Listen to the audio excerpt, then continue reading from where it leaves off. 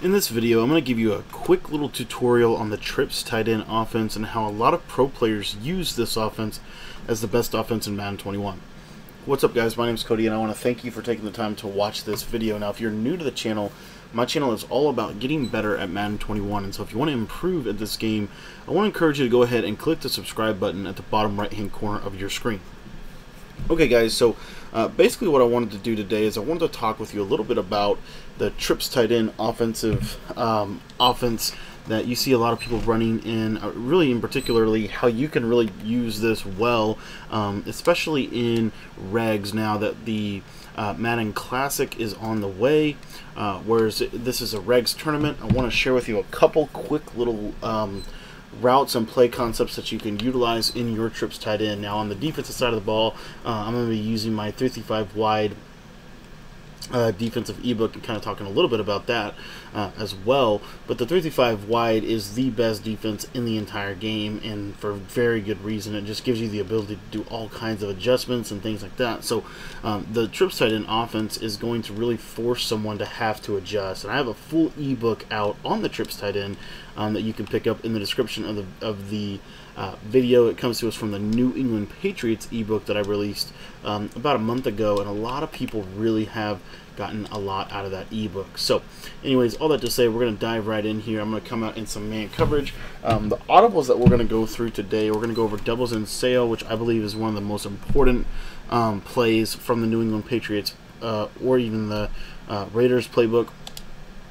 PA counter go is another important play. Uh, curl flat is another important play that we have at our disposal. And then the only other play that I really want to hit on is X spot. A lot of people really like to run that. Um, that's not in the New England playbook. We use PA slot corner um, if you're running with New England. Uh, and then PA shot post. Now, uh, what I'm going to do is take curl flat out of my audibles, and so I'm going to basically come out in that every single play. And this is what you're going to get as you see right here. Now, curl flat is such a good play, and the reason why is because one of the things that most people don't realize about trips tight end is the alignment issues that it can cause uh, with the uh, man coverage. So when people run man coverage, this thing can do a really, really good job of causing just bad alignment. So uh, what that allows for your offense is it allows you to do something as simple as you know motion this drag across the formation, and what you'll see here is this tight end will pretty much darn near roast his guy every single time. And all we're doing is smart routing the corner. That's literally the only thing we're doing, and then we're simply just motioning over a, uh, a receiver on a drag route. Now, you might be asking, well, do you have to motion him over? You don't really have to. Um, you'll see here, you see you get a natural man switch. That natural man switch is actually really, really cool because a lot of times what that what that really boils down to is you'll see someone do something like this. They'll take this guy and they'll man him up on the running back and then they'll blitz their user. Like you see this all the time, right?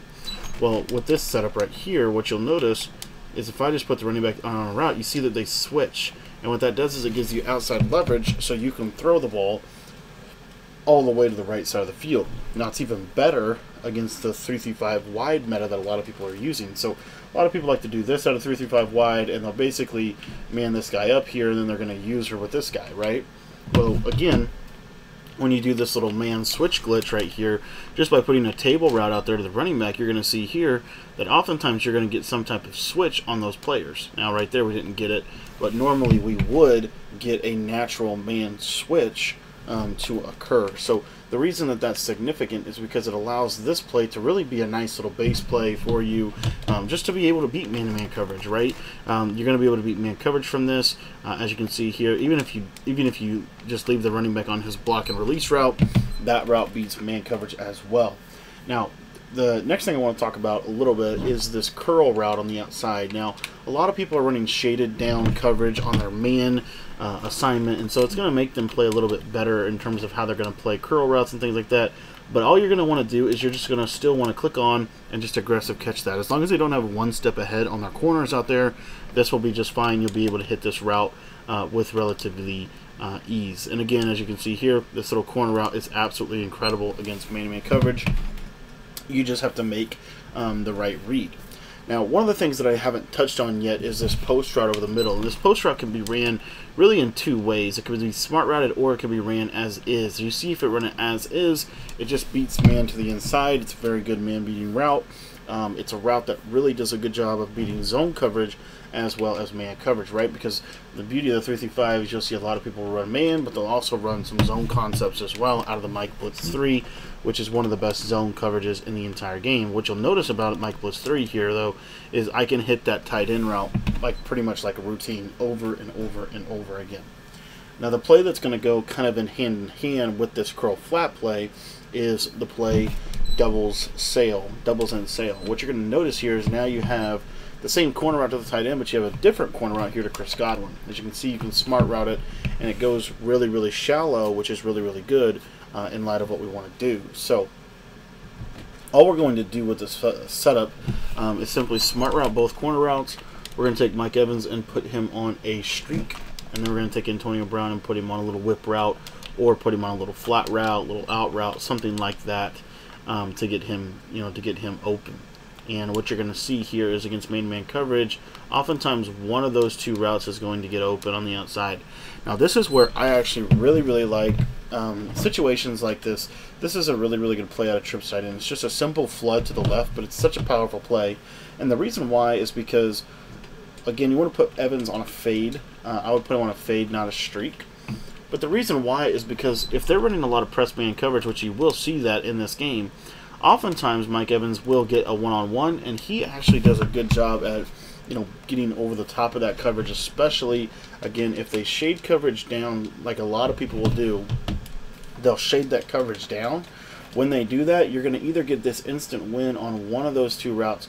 Sometimes they don't always get over the top, but in the event that it's a one-on-one, -on -one, normally if you have a Mike Evans type of receiver, you can easily uh, just pass lead that to the to the outside and then click on and go make a play uh, with your user.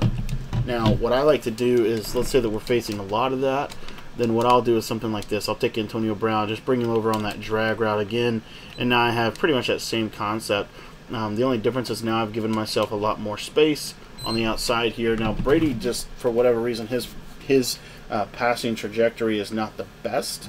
Um, it's not the worst either for regs, but this is just something that I've noticed that has really helped me become a very, very effective passer. So, um, all that to say, and you could put Brown on anything. You could put him on a slant if you wanted to. I just personally think the drag works the best because you automatically have this inside positioning, and then as you see here, this route to Godwin does a really good job. Now, how does this play against zone coverage? Well, against zone coverage, what you're going to notice here is number one, notice that this little natural flip of the corner when they audible to a zone coverage. If they audible to a zone coverage out of that set, um, they're always going to get that little natural flip that you just saw. So, anyway, all that to say, if you watch this corner route, it's a smart route, a corner route. It's very similar to the corner route out of the gun bunch. You can pass this on the sideline, click on, and make a nice little catch like that. So, these two plays in combination are really, really powerful and really, really hard to stop from the bunch tight end or from the trips tight end offense. So if you want to get the full ebook on trips tight end and the entire New England playbook, which in my opinion is the best overall playbook in the game, that link is in the description of this video. A lot of people have had success for that. And if you have any questions or if you would like to see a free sample of that entire ebook, go ahead and shoot me a text message. My number is 812 216 3644. It's also in the description of this video. Thanks for watching, and we'll see you guys on tonight's stream at 10 p.m. Eastern Time.